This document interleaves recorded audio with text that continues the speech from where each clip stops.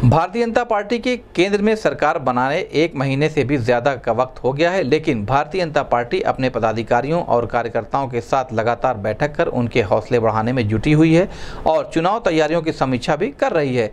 गुरुवार को बेनीगंज स्थित भारतीय जनता पार्टी के क्षेत्रीय कार्यालय पर तेरह लोकसभा क्षेत्रों के विस्तारकों के साथ पार्टी कार्यालय पर बैठक का आयोजन किया गया। जिसके मुख्य अतिथि विधान परिषद सदस्य एवं बीजेपी प्रदेश महामंत्री विजय बहादुर पाठक शामिल हुए।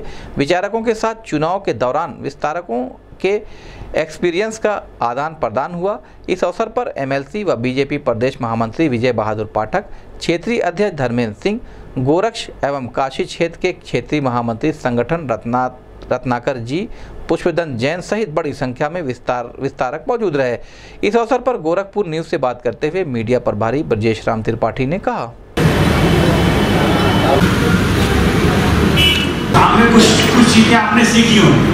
तो कोई ऐसा प्रसंग, कोई ऐसा विषय जो ताकत जी ने कहा जो सबके लिए शेयर करना आपको लगता है कि हम साझा करना चाहिए तो उस तरह का और स्वाभाविक रूप से आपके बोलचाल में परिवर्तन आया होगा, आपके काम में परिवर्तन आया होगा। आपको कुछ नई आदतें ही पड़ी होंगी जो हम नीचे गए। नीचे हमने क्या सीखा? और हम जिस समाज के काम के लिए गए थे उस समाज में हमको क्या ग्रहण हुआ? ऐसा कोई प्रसंग विषय हो तो सबके साथ साझा करना हो। उसी अनुभव कथन के लिए ही हम सब बैठे तो सबको अपनी बात करनी है, लेकिन आठ महीने में कोई ऐसी घटना?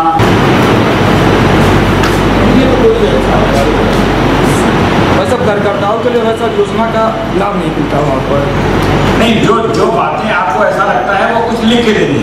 लेकिन इन आठ महीनों में कोई ऐसी घटना सकारात्मक भी तो हुई होगी इटवा में जब आप गए होंगे लगा होगा कि दिन भोजन नहीं मिला भोजन मांग के करना है गए होंगे कार्यकर्ता के जो रहा होगा वो खिलाया होगा। तो इस हम लोगों के लिए गाँव पर चलिए कार्यकर्ताओं से मुलाकात करिए फिर हम जाते थे तो वहाँ थे प्रवास करते थे।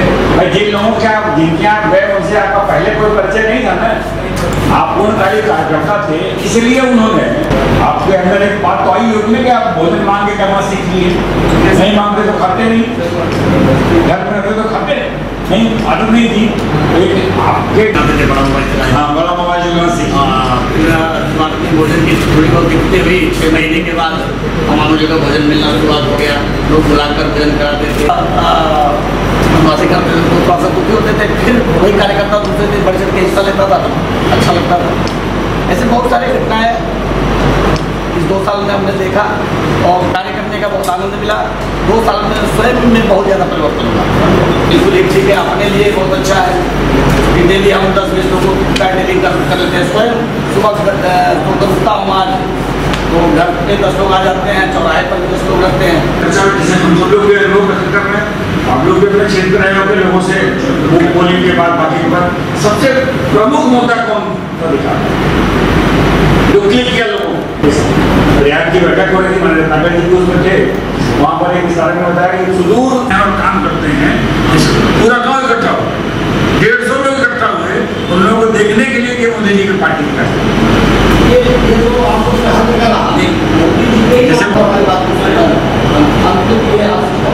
आप तो अलग अलग विधानसभा में भी रहे। कितनी विधानसभा में जब से विस्तारक लिए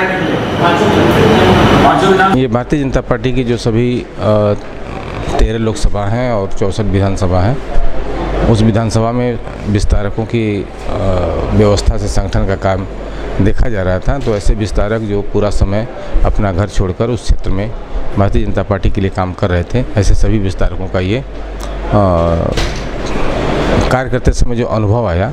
तो ये अनुभव कथन बैठक है, जिसमें सभी अपने अनुभव संगठन से साझा कर रहे हैं और इसके बाद जो हमारे भारतीय जनता पार्टी के प्रदेश के महामंत्री हैं और विधान परिषद सदस्य हैं, आज के कार्यक्रम के मुख्य अतिथि हैं।